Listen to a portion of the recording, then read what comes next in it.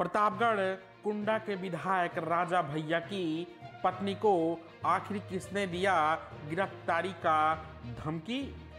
प्रतापगढ़ कुंडा के विधायक राजा भैया और उनकी पत्नी के बीच तलाक का मामला इस समय कोर्ट में चल रहा है, जिसको लेकर दोनों काफ़ी सुर्खियों में हैं।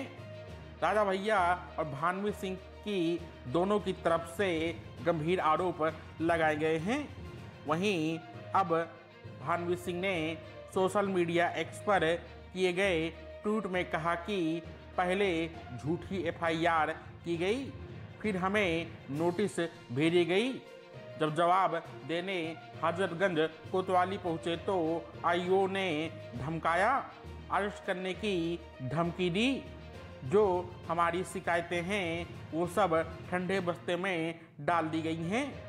कितना अन्याय सहें और कब तक सहें? आखिर इशारा किसका है? आप ही बताइए योगी जी राजा भैया की पत्नी भानवी सिंह के इस पोस्ट के बाद सनसनी मच गई है। भानवी सिंह ने अपने पोस्ट में कहा है कि उनके खिलाफ झूठी एफआईआर करने के साथ साथ उन्हें अरेस्ट करने की धमकी दी गई है।